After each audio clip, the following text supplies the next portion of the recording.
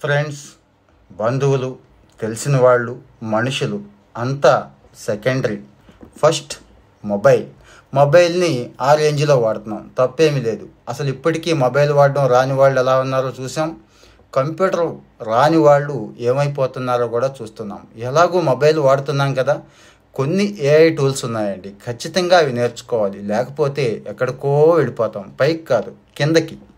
చూస్తున్నాం కదా. సో నా సలహా ఏంటంటే ఏఐ వాడండి అని. ఏఐ అనగానే ఫేస్ ఒకలా పెట్టకండి. ఏఐ మీరేమి డెవలప్ చేయక్కర్లేదండి. ఎవడో డెవలప్ చేసేసిన టూల్స్ని కాస్త వాడడం నేర్చుకుంటున్నాం. వాడటం అలవాటు చేసుకుంటున్నాం. ఎందుకంటారా?